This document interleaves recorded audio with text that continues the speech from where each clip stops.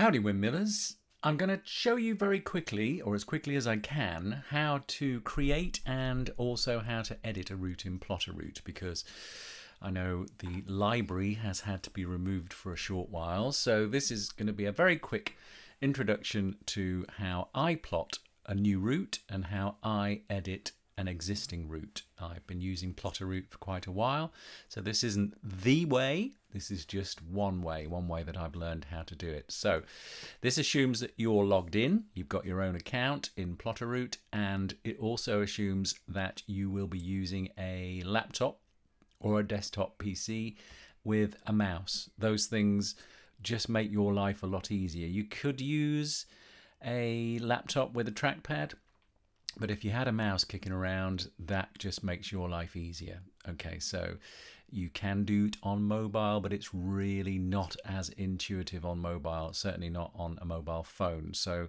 save yourself a lot of bother and do this on your uh, cranky old PC. Just need an internet connection and a Plotaroute account, which is free. So once you've set up your account, we will be going to create and we're going to go to plot a route.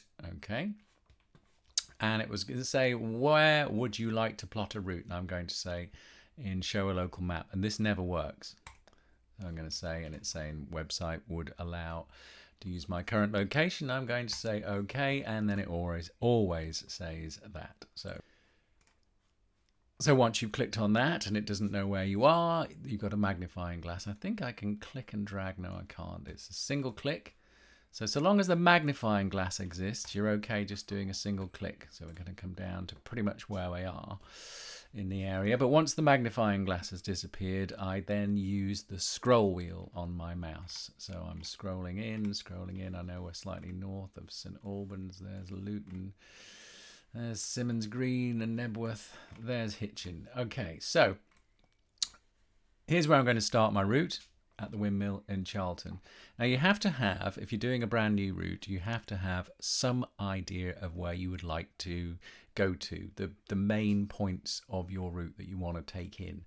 And the reason for that, and you need at least five, if not six points on the route to start with. So I'm going to start, the first click when I'm creating a route is going to be the start point. So I'm going to click there in Charlton and I'm going to say I'm going to head up to Great Offley and then I'm going to go down towards Warden Hill and I'm going to go up towards Barton le Clay and then I'm going to go through Shillington and maybe Lower Stondon and over to Arlesey and up into Fairfield and into Letchworth and back down to the pub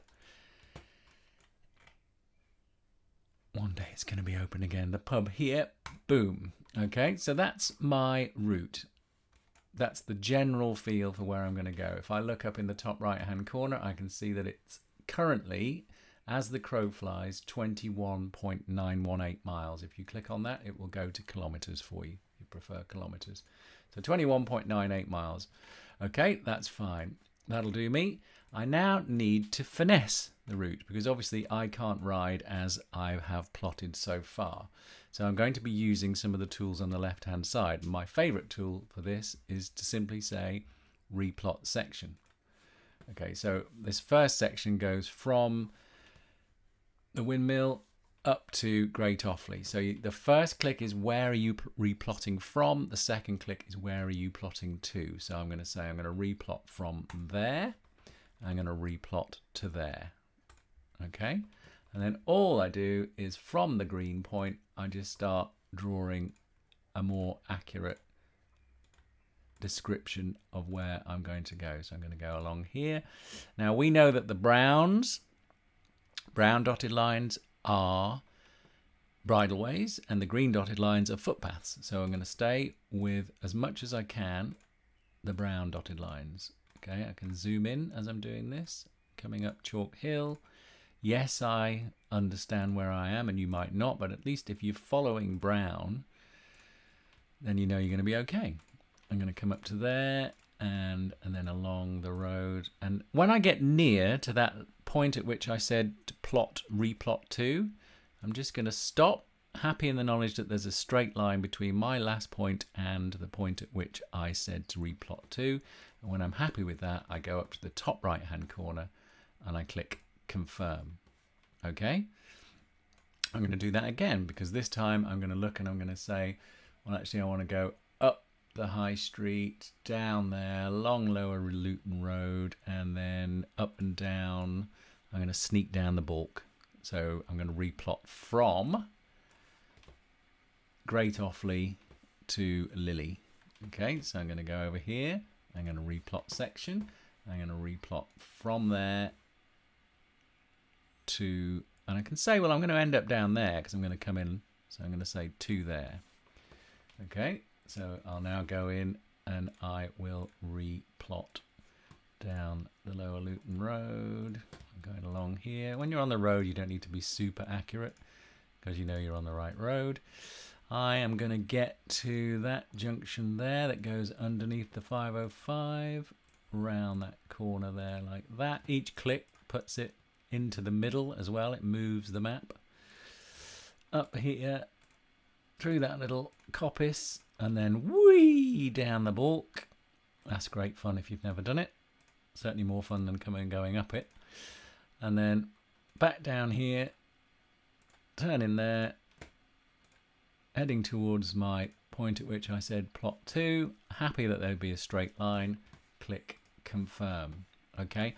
And that's all I would do all the way around so in this instance I'm going to carry on up this trail. This is one of those annoying ones that we can't really help ourselves on.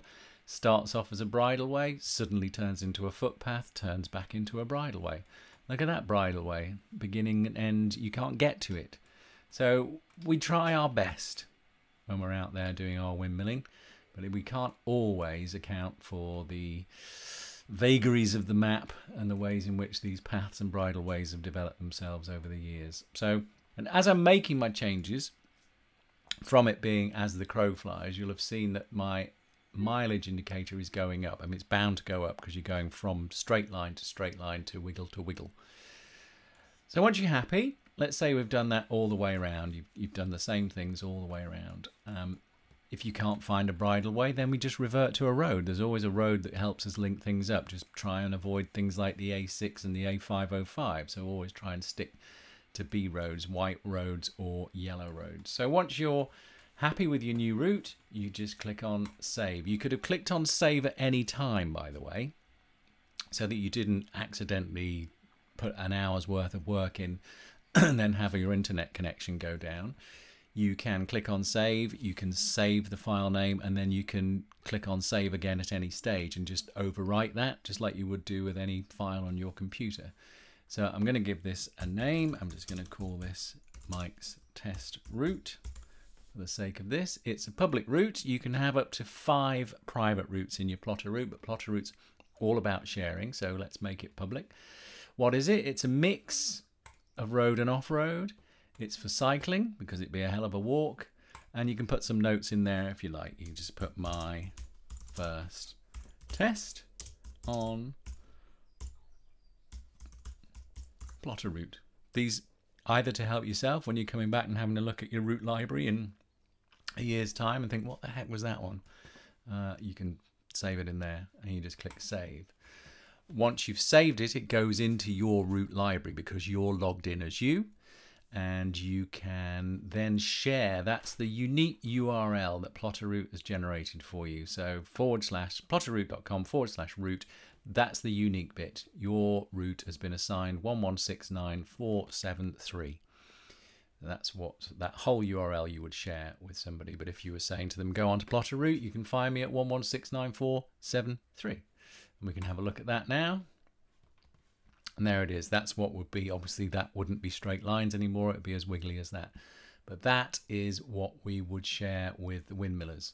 And how might you share that? Well, you can just go down here and you go share and there's the URL. So you can just copy that and then go to Facebook or email, paste that in, boom, you've shared. So I hopefully that was helpful and that will show you how to. It was the same thing. I'm going to just quickly jump onto how to edit someone else's map now. So bear with me two seconds. Okay, so in this instance, I have just done a search in the Plotaroute search box for Bedford. And I found this one. No idea who Nigel Wilson is, but Nigel Wilson has very kindly shared a 25 mile route around Bedford. Okay, and I'm thinking, well, I, might quite like to explore that. But 25 miles is not going to be, it's, it's too far. So all I need to do is go and uh, hover over menu. I'm going to click on edit. That's going to bring up his route and I'm going to have a look at that route and say, well, I'm not going to change the start and finish point, but I'm going to look for somewhere that I can fairly easily and obviously make his route a bit shorter if that indeed exists. So let's have a look. And I'm thinking that I can take out from Furley. I don't know any of these roads, this is just for an example.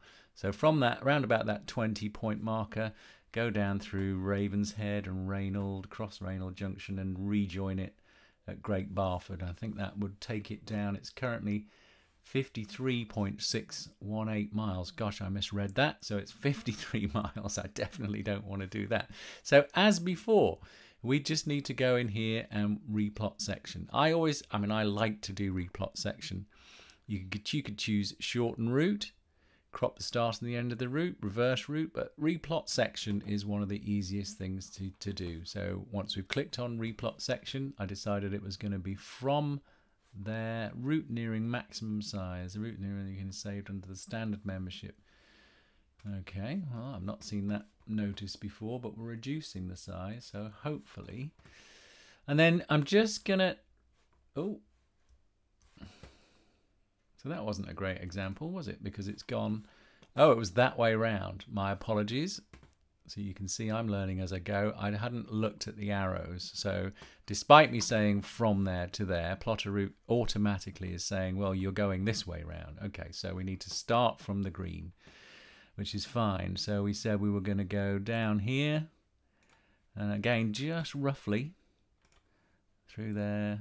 I can tidy this up in detail, but this is going to give me an idea of how much shorter I've made his route. Once I'm happy with that, I'm going to confirm.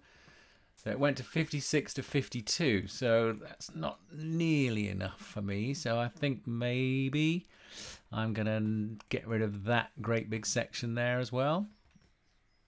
So again, I'm going to go to replot section and go from there down to there, and I'm just going to go like this, just Again, I would go in afterwards and just fine tune it, but from an overview point of view, this is absolutely fine. And then say confirm. We were at 52.81. Let's see what I've done. 47. I'm thinking, yeah, 47, that's fine. Okay, so I've been back in, I've tied it up, everything's just dandy, and I go to save it. And it says, uh oh, this isn't your route. It's owned by somebody else, which is fine. So I'm going to save a copy to my account like that. And I'm going to say, I'm actually going to, there's an option here to reduce points.